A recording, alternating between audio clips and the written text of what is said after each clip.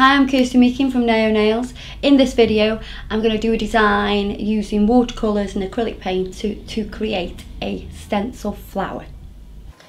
For this nail, on this full look design, I've already prepared the nail, I've applied a tip, I've put the prep products on there, primed, all ready to rock. Um, if you want to see the videos for applying a tip or prepping the nail, you can check the in the description box. There'll be a link for you there. But for this nail, we're going to continue and we're going to put Diamonds Are Forever, which is really highly pigmented. You don't need a lot. It goes a long, long, long way. Nice and neat round the cuticle. Blend that down. Then we're going to go into Pink Fairy Wings right in the middle.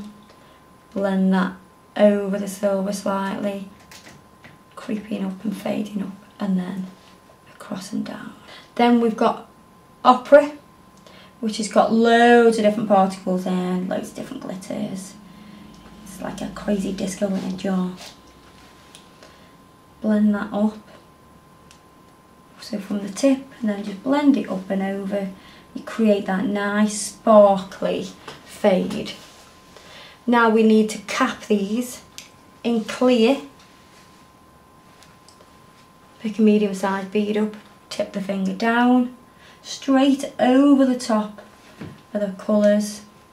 Tap the back so it covers it nicely, but it's nice and flush. It's not got a lip or anything. Then you can start to bring the rest of the product down over the nail and that'll seal that in nice. And you're going to allow that to dry and then you can file. So now this is dry, we're going to file. Same routine with every nail. Side walls first.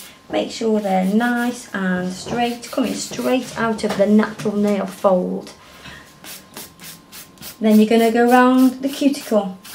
We've got colour at the cuticle, so you need to be aware that you're not going to file off that colour.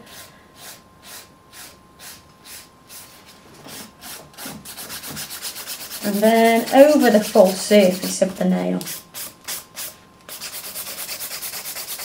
Reducing any bulk, contouring the curves of the nail, making sure you've still got your apex here in the back third that will support the nail, keep it nice and strong. Just going to shape the free edge into this nice soft almond shape. Very easy to wear. Make sure you check your side view, make sure you check down the barrel view as well. Once you've finished filing, we can then buff this nail, smooth it out, remove the demarcations in the nail that the file will have created. Get that all nice and smooth.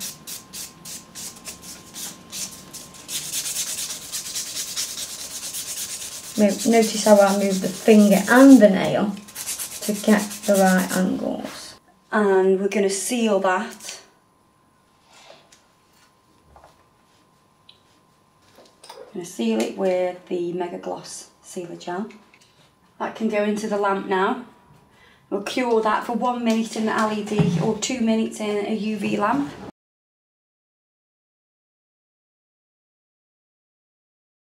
What I'm going to do now is I'm going to get a little bit of white paint, a little bit of pink, and a little bit of silver.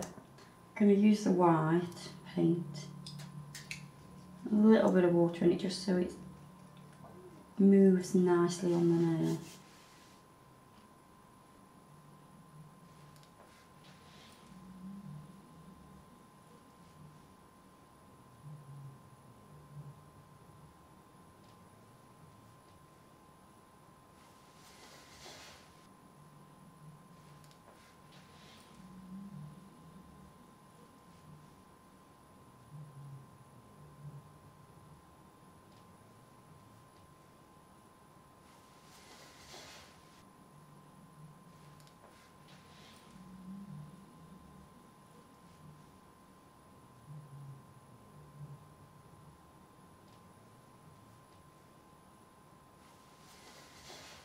So I'm just painting a stencil flower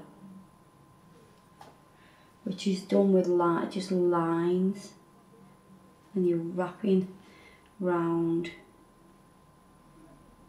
each section. Make sure that they are solid so you haven't got no gaps in the painting, it's not too transparent, you want it to be quite an opaque border. And starting at the centre, doing a centre swirl, and you've got one moon shape there. Again, make sure this border is really opaque.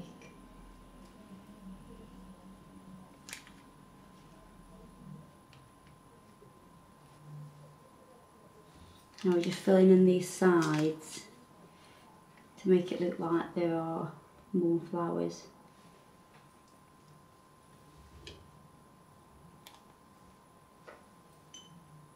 And you're just using those soft lines to create that.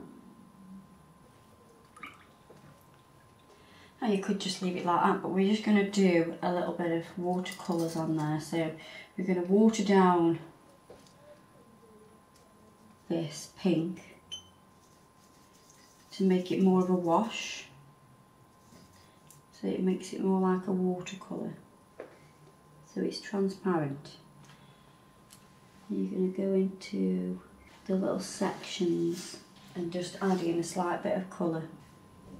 You don't need to do it on every section. You can do if you want to, but we're going to do it quite randomly. So when you're picking each section to put your watercolour in, make sure you keep a gap of sections with non-colour. So here we've got one with the watercolour wash and then you've got one without and you've got one with, just so you've got a random gap between each one. Now going back to the first one.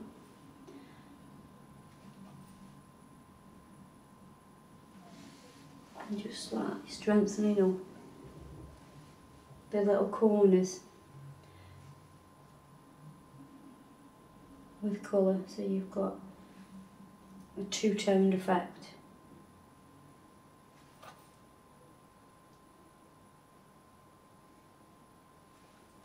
So you're just going over with exactly the same wash. But because you put two layers, it strengthens up those parts. And because it's a wash, it creates a little bit of a fade as well. You want it to look quite soft.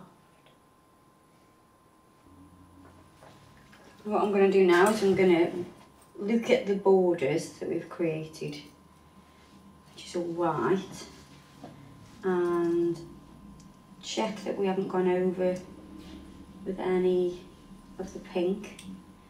If we have, we're going to neaten that up now.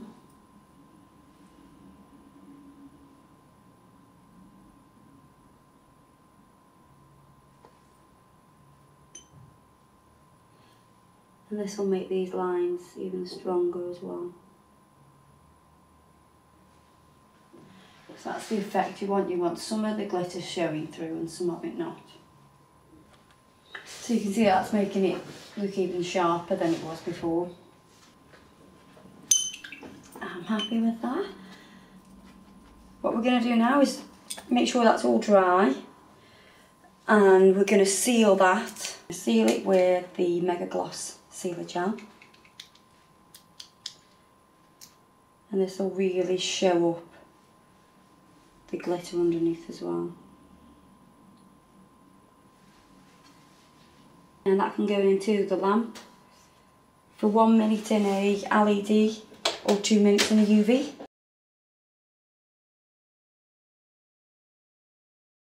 So that's set now. We're going to finish this off with a little bit of cuticle oil. You can see now it really shows up all the glitter the contrast between the matte paint and the glitter underneath looks really nice.